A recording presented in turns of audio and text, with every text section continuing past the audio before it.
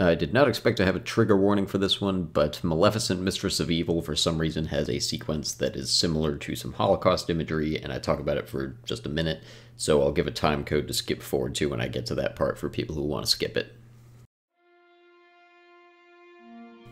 Once upon a time, there were fairy tales. As they were told over the centuries, different versions emerged.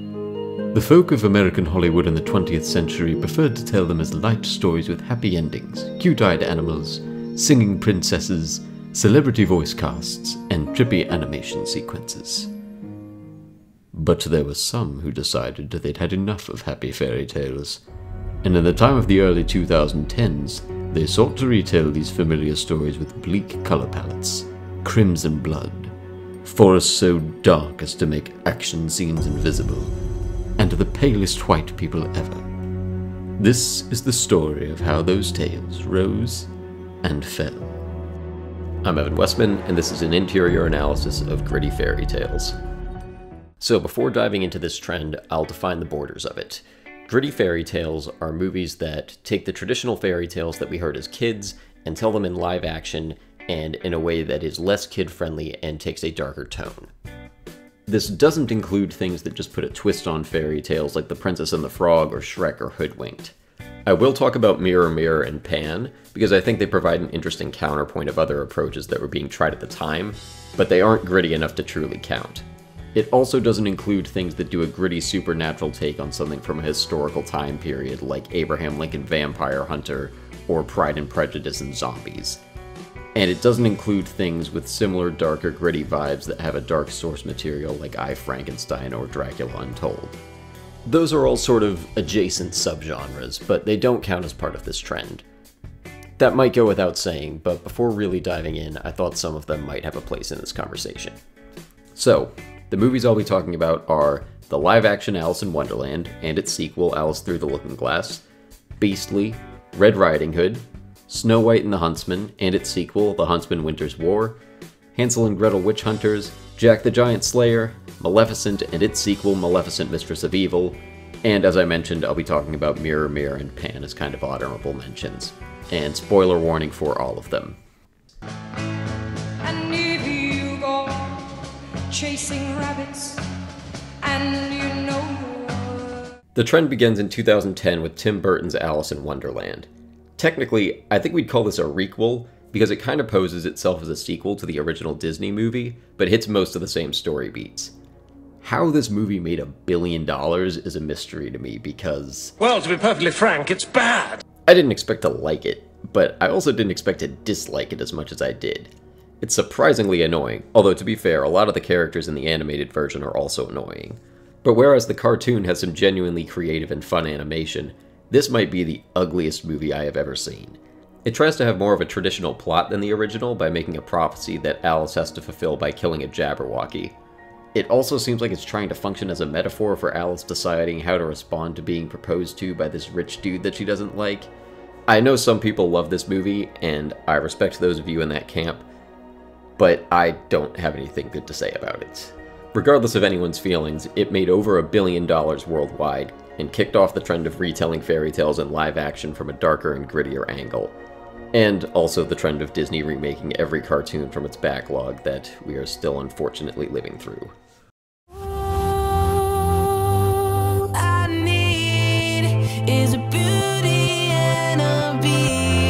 In 2011, we got Beastly, a retelling of Beauty and the Beast set in present day. It's the lowest budget movie of the trend, and makes a very strong case for also being the worst. Some of the dialogue in this is laughably bad, largely because it's so painfully obvious that it's written by a middle-aged man trying to imitate cool, edgy teenagers. The self-mutilated tatted Frankenskank? Que sera sera, Spanish for sucks to be an ugly cow. In terms of adapting the fairy tale, it tells the story more from the Beast's perspective. The Beast is a rich, popular high school kid, played by Alex Pettyfer, who tells us in one of the very first lines that appearance is the only thing that matters to him, and he loves having pretty privilege. Beautiful people get it better. That's just the way it is. So Mary Kate Olsen curses him when he wins a school election and gives him a bunch of edgy scars and sexy tattoos, and now he has one year for someone to say that they love him. The rest of it follows basically the same beats of the Disney movie, but about 10 times cringier. Neil Patrick Harris as a blind tutor, and the beasts maid from Jamaica stand in for the cursed servants, and it has to spend a while justifying the classic prisoner situation with beauty in some kind of logical way. Tonally, this is more in the vein of present day Shakespeare adaptations like 10 Things I Hate About You. It obviously isn't trying to be a direct adaptation, but it definitely expects you to know the Beauty and the Beast story. It tries to be edgy by having a lot of PG 13 swearing, and Vanessa Hudgens' dad is some kind of addict. We never really get a lot of clarity on that. It feels like it's aimed at young teenagers who are just aging out of Disney Channel and Nickelodeon, especially in terms of the cast. I wasn't sure if this fully fit into the genre because of the present day setting, but it makes enough of an attempt at being gritty, and it's kind of an interesting contrast to the rest of this trend and how it approaches the gritty retelling. I must say, I kind of regret spending $4 to rent this, but I would still rather watch it over the Disney live action remake any day.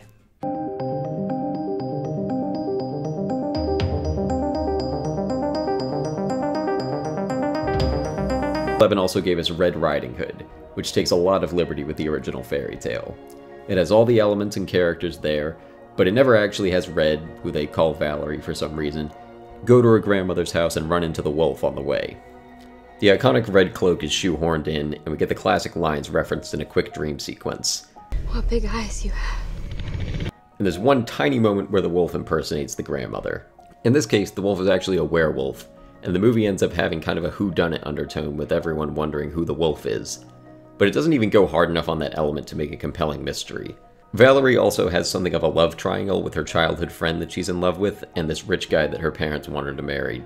The guy she's in love with is signaled as someone that you're supposed to suspect as the wolf, and it turns out it's not him, but he gets bitten near the end, so he has to run away to protect her until he can control his wolf side. At the climax, it's revealed that the wolf is actually Valerie's father, which is why she can communicate with it telepathically. He kills her grandmother and wants to pass on his werewolf heritage to Valerie, but she kills him.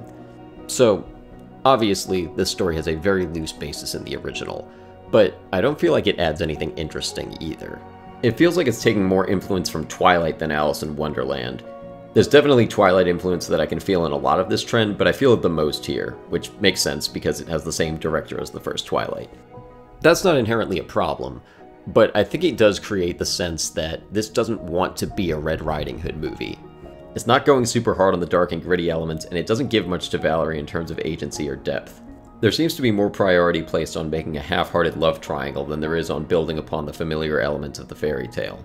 I might be off with this assessment, but it really feels like this got made because they figured if they put from the director of Twilight in the trailer and showed it before screenings of Eclipse, they'd make their money back. And even though this is far from the most financially successful movie of the trend, they weren't entirely wrong.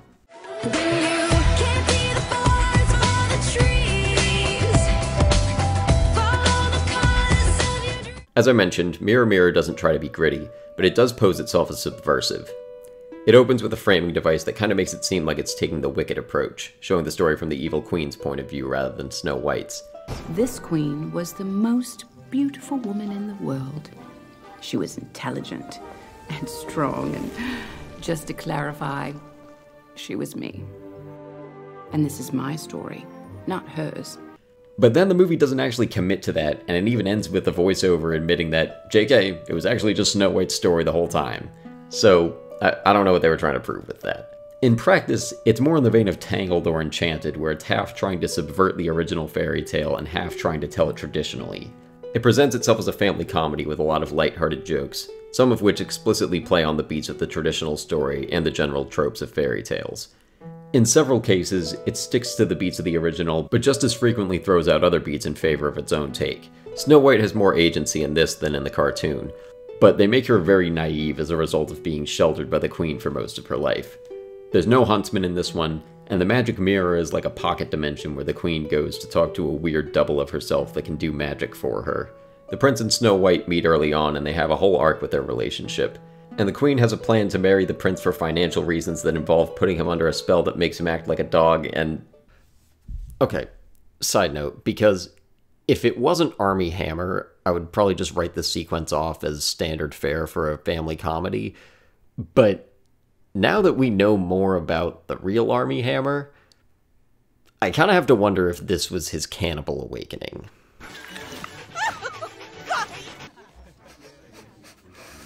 So taste of strawberries. Yeah, it hits different now. But all of that is done in service of another major subversion, where Snow White has to kiss the prince to break the spell that he's been put under. It ends with the queen in an old woman disguise showing up to Snow White's wedding and offering her a poisoned apple. But then Snow White recognizes her and is like, nah, you eat the apple. And the movie ends with the implication that the queen dies by eating the apple, and then immediately launches into a Bollywood dance number.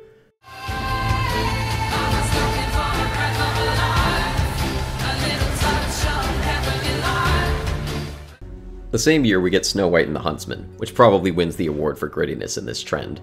There's big battle sequences and death and edginess and darkness. This is like Snow White for bros who like 300. At every turn, it feels like it's trying to one up the cartoon. Did you like how colorful the animated movie was? Well, we're gonna desaturate all the color out of this one. Remember how Snow White was all gentle and cute in the original? Well, this time she's a badass who wears battle armor and kills the queen in a 1v1 at the end. Remember how all the animals came and helped Snow White clean the house? Well, this time they get shot in the back. Remember when Snow White danced with Dopey? He gets shot in the back too. Remember how the prince sings to Snow White? He gets shot. No, that one doesn't actually happen, but you get the idea.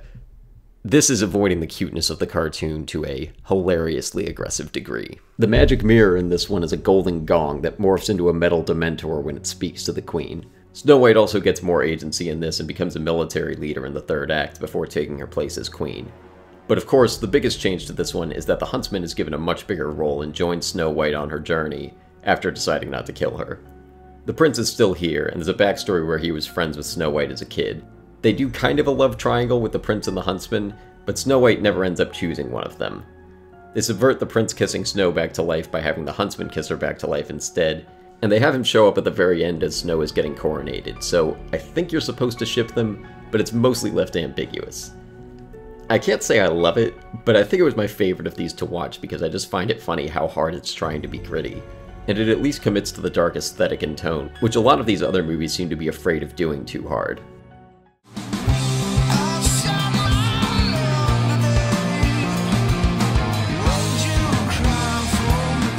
If you're a fan of the channel, you know I disagree with the whole concept of the MPA rating system. But it is worth noting that Hansel and Gretel is surprisingly the only entry in this trend with an R rating. The cold open covers the entire fairy tale. Two kids lost in the woods find a house made of candy where a witch tries to cook them, but they shove her in the oven and kill her. Oddly though, the iconic breadcrumbs are absent and aren't referenced in any way the entire movie. The opening credit shows a montage of news clippings tracking their career as witch hunters. Then we meet them as adults who go from town to town killing witches. What follows is a quick, bloody, campy action movie that delivers on the title and has some fun without overstaying its welcome. Given how spare the original fairy tale is and how quickly it's covered, this movie essentially functions as an original fantasy action movie. There are rules around witches that are established and explored throughout, some of which draw on more broad cultural touchstones like witch burning, and some that seem unique to this movie, like the fact that some witches can pass for humans and others can't. It's revealed that Hansel and Gretel's mother was actually a witch also, and that the power she passed on to them makes them resistant to a lot of magic. Although the breadcrumbs, get it, that are dropped throughout are so glaringly obvious that you can guess this reveal a good 20 minutes beforehand. The final showdown happens at the candy house where it all started, which, I mean, you might as well do that just for fun. What's most baffling to me about this movie is the technology of the world. Typically, I think of most fairy tales as taking place in medieval times or maybe the Renaissance era and the look of this movie seems to indicate that it's set around that time period. But some of the weapons that people use in this are at the earliest, from the late 1800s. In most scenes, Hansel and Gretel are strapped with pistols and shotguns, then a dude whips out a taser, which Gretel later uses as a defibrillator, and then discount Amy Adams straight up uses a machine gun at the climax.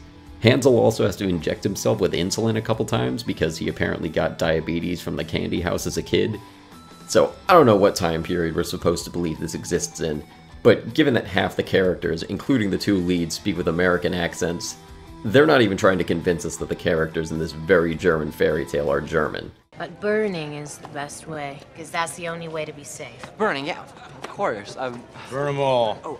So it's probably not worth overthinking.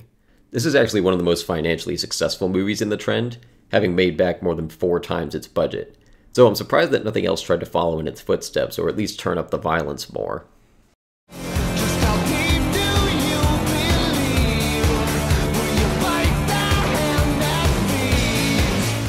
The trend hits its first box office flop with Jack the Giant Slayer. The movie starts off with a 3D animated legend of giants in the sky who used to come down on beanstalks and eat humans and steal their gold, until they were driven away by a magical crown that the king made to control them. The crown and the last remaining magic beans are now kept in the king's tomb. We move forward to the present, and I know I shouldn't be so reductive about it, but the first act is literally just Aladdin.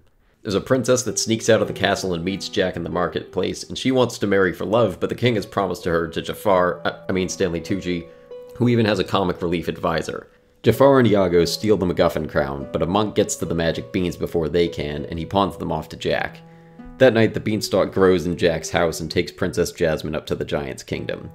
Jack and a few of the king's men go up to rescue her, and when they arrive, Jafar reveals his plan to take over the kingdom by controlling the giants with the MacGuffin crown.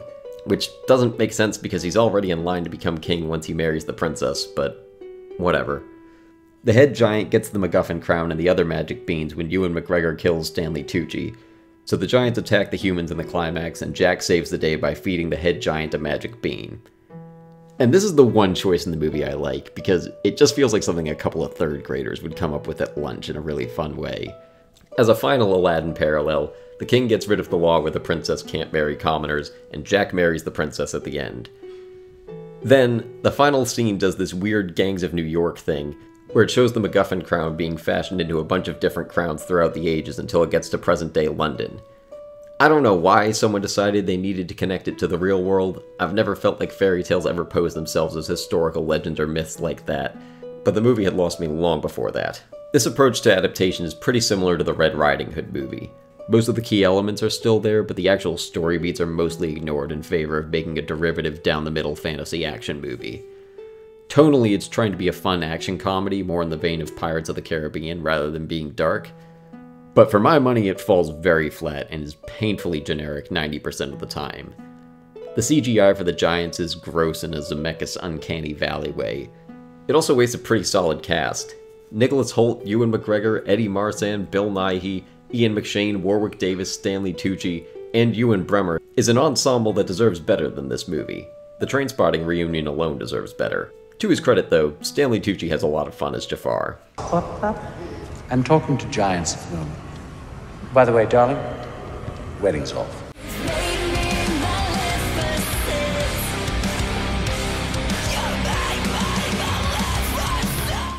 Disney followed up the success of Alice in Wonderland with Maleficent in 2014. As the title suggests, it takes the one dimensional villain of the cartoon and tries to make her more sympathetic and nuanced. At first, it just gives us some backstory where she and the king were childhood friends and first loves, but then he betrays her and steals her wings in order to take the throne. So the curse she places on Aurora is framed as revenge on the king rather than just a random act of evil. But later, as Aurora grows up, Maleficent takes on kind of a parental role and keeps Aurora safe throughout her childhood. Maleficent comes to care for Aurora so much that she tries to undo the curse, but she can't because she put a no takebacks clause in the contract.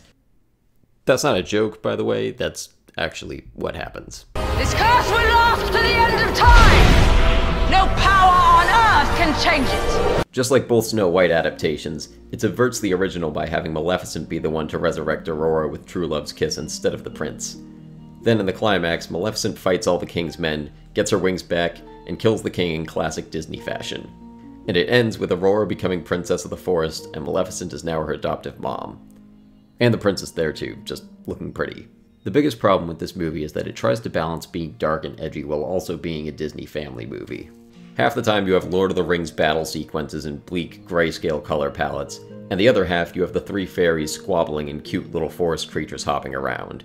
The decision to make Maleficent more sympathetic and ultimately redeemable isn't bad on paper, but it creates a problem when they try to give her understandable motivations while also hitting the major beats of the original.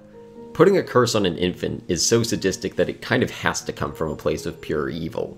So reframing it as Maleficent taking revenge on the king doesn't work great, even if her revenge is justified. Having Maleficent come to care for Aurora is also not a bad idea on paper, but because we start seeing this care bloom just a couple scenes after Maleficent curses Aurora, it doesn't have the time to feel earned, and gives the scene where Aurora gets put to sleep in out of place, careful what you wish for undertone. And the prince just doesn't even belong in this story. In the original, he's really only there to do two things kill Maleficent and wake up Aurora. And he doesn't do either of those things here. Since it's presented as a remake of the cartoon, I guess he kind of has to be here, but he's completely extraneous. Ultimately, I don't feel like this was the best approach to take with this specific fairy tale. If the goal of this retelling is to make Maleficent more sympathetic, it's not great that her motivations and actions don't hold up well under scrutiny. But it has the highest audience rating of all the movies in this trend, so I guess it got something right. I am a lost boy, don't look to me for help. I've been through hell, try to avoid getting enemy. In 2015, we get Pan, the biggest financial flop of the trend.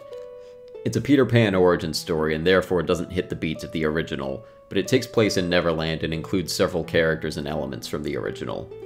Captain Hook and Peter become friends and allies throughout the story, and still are by the end. We'll always be friends, Hook, won't we? Always. What could possibly go wrong? The villain in this case is Blackbeard, who has lived an extended life by capturing children and having them mind Pixum, which is what they call pixie dust. Peter has a chosen one story where he learns that he's the child of a native human woman and a fairy, and he has his powers because of this, but he isn't able to fly until he believes in himself. I'm usually one to advocate for character arcs, but Peter's motivations are inconsistent in a way that actually makes his arc one of the weaker parts of the story. Tonally, it stays pretty solidly in the family adventure space. There's a lot of action scenes, and while some of them have surprisingly decent choreography, they all stay kid friendly. So again, I can't really call it gritty, but it at least avoids the tonal dissonance of Maleficent. The inclusion of both Captain Hook and Blackbeard is a choice that I find very strange. Even though the poster says who everyone is, I had mistakenly assumed that Hugh Jackman was playing Captain Hook and that Garrett Hedlund was maybe playing an original character. But Blackbeard in this movie bears a lot more similarity to Final Form Captain Hook than this prequel Hook does. Hook is more of a roguish Han Solo type here who makes wisecracks and hits on Tiger Lily, whereas Blackbeard is the one hell-bent on capturing Peter Pan. And just look at him. I can't be the only one who assumed that the guy dressed like this was Captain Hook. I actually found myself enjoying a few moments of this and would probably rank it as maybe third favorite of these movies, even though it's still pretty mid on the whole. But it flopped extremely hard at the box office, which combined with the failure of Jack the Giant Slayer is likely why it's the last original movie in this trend. Before we move on, I have to address one of the most baffling music choices of all time. When Peter arrives at Blackbeard's mine, everyone, including the newly arrived kids, sing Nirvana's Smells Like Teen Spirit. And then a few scenes later, they sing Blitzkrieg Bop by the Ramones. And this is diegetic sound. This isn't the soundtrack. This is characters in the 1940s singing rock songs that wouldn't come out for another 30 plus years. There's no explanation for it, which is probably good because I don't think there's any way that could make sense. But wow, does it raise a lot of questions.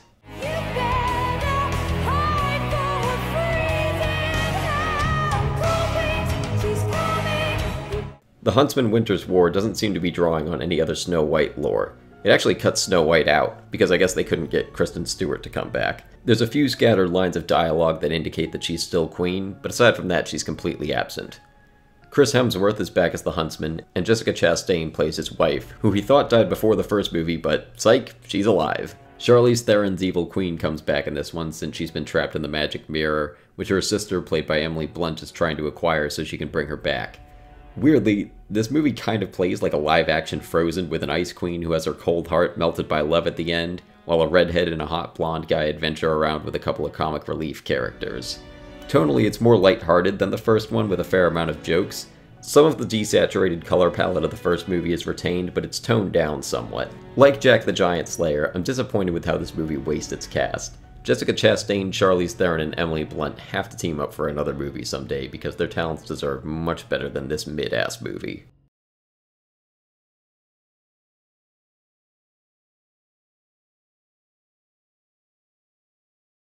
Alice Through the Looking Glass brings back all the annoying and bland characters from the first movie, but this time we also get the Borat guy doing an accent that's like a bad Werner Herzog impression mixed with John Malkovich's character from Rounders. So being time, I must give some of myself for you to have me. Tim Burton didn't direct this time, which you can kind of tell even though some of his aesthetic is retained.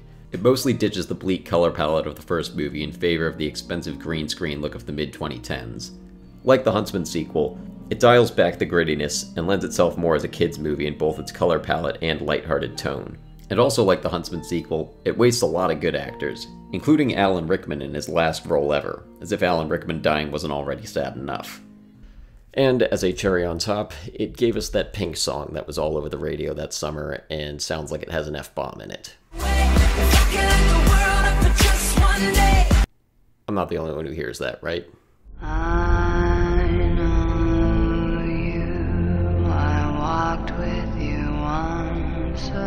And finally, we have the sequel to Maleficent. This one centers around the wedding between Aurora and the prince, who they recast for some reason, and a conflict between Maleficent's dark fae species and the prince's kingdom. Michelle Pfeiffer plays the queen and forces the conflict between her kingdom and the Fae by framing Maleficent for putting a curse on the king. Her plan is to kill all the Moor creatures during the wedding, and later, in a very unsurprising reveal, we learn that she stabbed the king with the same cursed spinning needle from the first movie. But this time, we don't even need True Love's kiss to wake him up because apparently Maleficent can just torch the needle and that's good enough to break the spell. Which would have saved a lot of trouble in the first movie, but whatever. There's also this weird thing where Michelle Pfeiffer has propagated what sounds like the traditional Sleeping Beauty story to turn everyone against Maleficent. Just like the other two sequels, the color palette is brighter here, but unlike them, it has about the same level of darkness in terms of content. And this makes it suffer the same problem as the first movie, where it tries to be gritty and be a Disney family movie at the same time. And here is the trigger warning I talked about at the beginning, and the timecode you can skip forward to if you'd like. The scene where this tonal imbalance is worst is at the climax where Michelle Pfeiffer traps all the forest creatures in the church where the wedding's supposed to be, and then uses the organ to blast them all with a gas that turns them into flowers and plants. So it's killing them, but the movie is trying to make it less upsetting visually. The Blue Fairy sacrifices herself by flying into the organ and a bunch of flowers pop out. But then she's back at the end as a flower, so everything's fine, question mark. We don't really get clarification on how dead all of them are or if it's reversible, but it's just baffling to me that they're using pretty dark and historically loaded imagery and then trying to soften it to be kid friendly. And then on top of that, they're even ripping off Chang's evil plan from the season 3 finale of Community.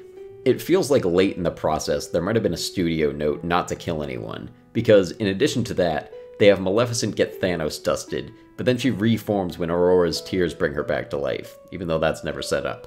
Then after thwarting her plan, Maleficent turns Michelle Pfeiffer into a goat, in fairness, I guess they used their falling death in the first movie, but for my money, they could have just straight up killed her at that point. She tried to do an ethnic cleansing that feels evil enough that they don't have to pull any punches. I mean, back in my day, kids' movies had the balls to just kill the racist bad guy. They didn't need a cliff or anything. Across all three of these sequels, we have first movies that go pretty hard on their dark aesthetic, with sequels that dial that back to different degrees in a bid for mainstream appeal. This could have been caused in part by the relative failure of the other movies of this trend that came out in the intervening years, but I think it's also likely caused by the growing success of the other Disney live action remakes, none of which adopted the bleak color palette of Alice in Wonderland or Maleficent. Before going into the diagnosis, I just want to call out a few fun stats. By my count across all of these movies, we have three subversions of True Love's Kiss, two movies where the protagonist has the powers of the villain passed down through their parents, two movies with Ian McShane, two with Eddie Marsan, two with Amanda Seyfried, two with the princess from Jack the Giant Slayer, three animated exposition scenes, and seven falling deaths. For anyone who's counting. So, why did this trend die? One reason that presents itself pretty clearly to me is that at the time all the later entries of this genre were underperforming, the live action Beauty and the Beast came out and made over a billion dollars. The success of Alice in Wonderland and Maleficent gave the impression that people wanted subversive, dark versions of fairy tales.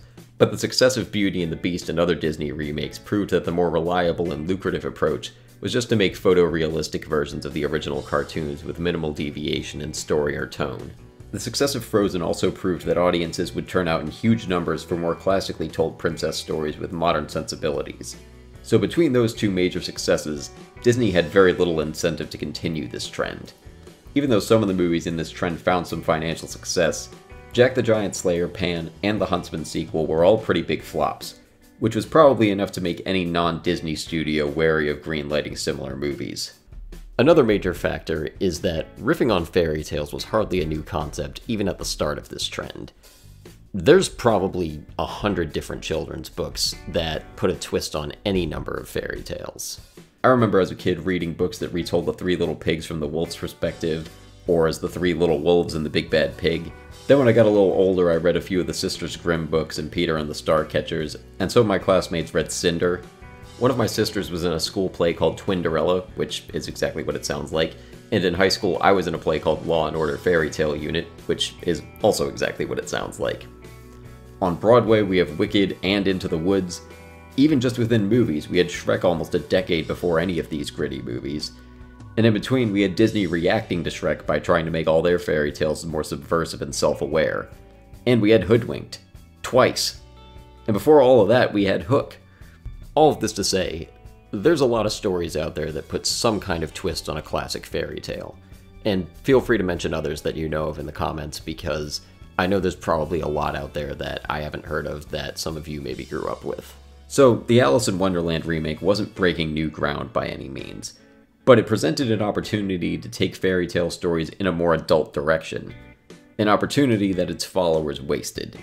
I think a major failing of this trend is that it mostly stayed in the territory that had already been tread before and kept its target audience too young. Again, you all know I don't believe in the rating system, but if we use ratings as an indication of target audience, Four of these are targeted at kids and families, five are targeted at teenagers or all ages, and only one is targeted at adults. That's a strange ratio for movies that are trying to brand themselves as dark and gritty.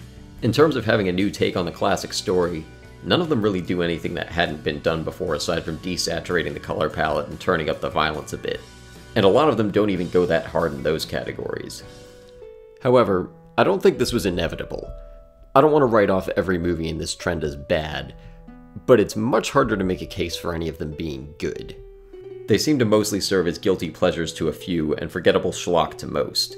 The audience ratings on them tend to be below average. Maleficent had the best reception, but even its ratings are mid at best. So maybe if one of these movies had raised the bar for fairy tale adaptations or broken some kind of new ground, then the trend might have evolved and brought something new to the table instead of just being overtaken by bland Disney remakes. But outside of subjective quality, I think what really would have given this trend the life that it deserved is if they had been made for a truly adult audience. Fairy tales tend to deal in very simple characters, plots, and morals, stuff that kids can easily understand. But I think that framework can present an opportunity to explore these archetypal stories and characters in a more complex way for adult viewers. Not every fairy tale is necessarily suited for that kind of treatment, but there's potential for this subgenre to have some talented storytellers explore interesting themes. Some of our most popular fairy tales originally had much darker tones and even tragic endings. The original Little Mermaid story ends with the mermaid getting turned into sea foam when the prince rejects her. The prince in Rapunzel gets blinded when he falls from the tower. And there's a couple others that I'm not even going to go into because I don't want to put more trigger warnings. I'm not one to advocate for shock value or darkness just for its own sake. But I think embracing the dark side of these stories and making them grapple with adult themes could have made this trend last longer and given us some really interesting adaptations. And there was definitely a market for that, because something else with a dark fantasy aesthetic that became massively popular during the time of this trend was Game of Thrones. The violent sex and general shock value is what drew people in, but the compelling characters gave it a massive and enthusiastic fan base. Before they disappointed all of us, but that's another story. Or, to look in a different direction, Guillermo del Toro's movie Pan's Labyrinth is kind of a fairy tale esque story, but gives it a much more adult spin, and uses its setting in World War II era Spain to explore questions about disobedience.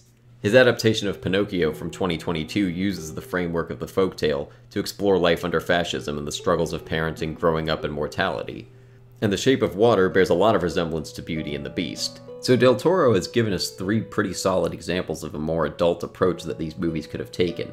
Or, just for one more example, there's a little Colin Farrell movie called Ondine that came out just before this trend started that serves as an interesting counterpoint to these movies. It's set in present day and isn't an adaptation of any specific fairy tale as far as I can tell, but it uses the mythology around sea creatures called Selkies to tell a grounded human drama. Without spoiling, I don't think it fully sticks the landing, but it's an approach that shows some of the untapped potential of using fairy tales, or at least fairy tale elements, as a springboard for telling a mature, grounded story. But I think the movie that is closest to what I want for this trend is The Green Knight. It tells an Arthurian legend and really meditates on its themes in a way that I personally really vibe with. Also, the cinematography is just gorgeous. Being an A24 movie, it's a lot more art house in style than any of these movies, but I think it does a great job of mining a lot of depth from a really simple story. Unfortunately, since it came out in August of 2021 and I was one of very few people to actually go see it in theaters, it didn't make very much money. So it's unlikely that it will reignite this trend, but I think it would be a good example for future fairy tale adaptations to look to. Just as an experiment, I decided to take an hour or so and try outlining a more adult take on a fairy tale. I ended up picking the Three Little Pigs, and at first I wasn't really sure what to do with it thematically, because I honestly feel like the only message to take from that story is just build a better house. In all the versions I've ever heard, the Brick Pig doesn't even work harder on their house than their siblings do, so it, it's not even really a story about the virtues of hard work. But then I thought about how the inciting incident of that story is the pigs being sent out into the world for the first time. And from there, I thought maybe you could substitute houses for approaches to adult life. So the straw pig is taking the path of least resistance and doesn't really commit to anything. They do pyramid schemes and scams and things like that to make money, and they spend their money on whatever kind of luxuries they can afford. Then Stick Pig is very generous in both their professional and personal lives, and it gets to the point where they can't even really support themselves. Then Brick Pig is all about stability and financial security. They work a very steady job, have a lot of money saved up in case of emergencies, their house and their cars fully paid for, sizable college funds for their kids, and they're not giving or indulgent at all like their siblings. And then by extension of all that, the wolf in this case isn't a character, but instead it's more of this large scale tragedy like the pandemic or the financial crash. Or just to keep it house related and cinematic, let's say it's a hurricane. And the hurricane wrecks the straw pig financially, so they turn to the stick pig, and the stick pig takes them in, but they've also taken a pretty big hit from the hurricane, so they both have to turn to the brick pig, but the brick pig refuses to help them. So that was as far as I got in the hour or so that I spent on it. I didn't really figure out an ending. I like some of what I came up with there, but I'm sure there's a better version I could come up with if I spent some more time on it. In any case, after doing that exercise, I feel pretty confident that some interesting filmmakers that had enough time and money and industry clout could make an interesting adult fairy tale adaptation that's much better than the ones that we got. So, to close out this examination, I've decided that I want this trend to come back someday, because I don't think it's had its full potential tapped. It can have all the edginess and violence and dark production design that the grittiest of these had, and we can leave some room for a few of them to just be campy and fun like Snow White and the Huntsman or Hansel and Gretel Witch Hunters. But I think in order for them to really work, they have to check three boxes. One, they can't be remakes of another adaptation, Two, they have to be helmed by people who have a unique take and can delve into interesting themes. And three, they have to be targeted at adults. This trend died out just before conversations about diversity and good representation in Hollywood started gaining prominence. And I think it's fair to say that these movies are all approached from a very white and heteronormative angle. The casting alone is pretty good evidence of that. Fairy tales often have elements of ostracization and marginalization, and many lend themselves especially well to queer readings. I think it might be interesting to see some retellings of fairy tales that address and explore those queer undertones and marginalized characters in a way that hasn't been done before in a mainstream adaptation. I'm not sure what that might look like, but I think in the hands of the right creative team, we could get some really good stories from that approach. Just for a few hypothetical examples, I'm gonna randomly pair some writers and directors with fairy tales, and see if any of these sound like something you'd pay to see. Barry Jenkins' Rapunzel, Yorgos Lanthimos' The Frog Prince, Kathryn Bigelow's Rumpelstiltskin, Ryan Coogler's Cinderella, Damien Chazelle's The Three Little Pigs, Lana Wachowski's Sleeping Beauty, Richard Linklater's The Pied Piper, Ava DuVernay's Little Red Riding Hood, Chloe Zhao's Beauty and the Beast, Jordan Peele's Goldilocks and the Three Bears, Emerald Fennell's The Little Mermaid, Lulu Wang's Jack and the Beanstalk, the Daniels Hansel and Gretel. So those were all just random pairings, but I know I'd take at least some level of interest in all of those. As I mentioned, I think Guillermo del Toro has a filmography that makes him most likely to give us that kind of movie, but I'm sure he's not the only one who could do it. I think David Lowery also presents himself as a pretty good candidate with The Green Knight, and after seeing Poor Things, I think Yorgos Lanthimos is also a pretty strong candidate for that. For some reason, I also really want to see Alejandro Inarritu try this genre out, but I can't think what fairy tale he should adapt. Let's maybe keep Tarantino away from this one, though, because we all know he'd pick Cinderella, and I don't know if we want that to exist. So, that pretty much does it. I can't say that I liked most of these movies, but I really enjoyed making this video, and I'm going to be looking at more trends like this because I'm kind of fascinated by them. A couple that I've got in the works right now are the big robots trend and the IP crossover mashup trend, but I'm open to suggestions for others and I have a list for the movies that I want to cover in those two, but if you can think of any, let me know, because there might be a couple that I've forgotten about. And please let me know what you thought about this video. Uh, which of these movies is your favorite, and your dream pairing of director and fairy tale. And if you like this, uh, you can check out our other video essays and podcast episodes here on YouTube. And you can also support us on Patreon, if only to offset the $20 or so that I spent renting some of these movies. And you'll get access to some bonus content. Uh, if you forgot that Chicken Little was a movie that existed until I showed the clip of it in this video, you can go and watch me and my co-host watch Chicken Little live. Uh, it is a really bad movie that was right to be forgotten, but if you are ever going to rewatch it, I promise you that doing it with our commentary is probably the most fun you can have doing that.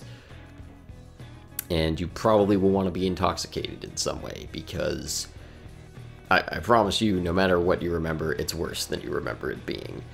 And as a final plug, if you liked the clip of the song that I played just before the section on Pan, that song is called Lost Boy by my friend Chase Green, and I've included a Spotify link to that in the description. Otherwise, thanks for watching, and I'll see you next time.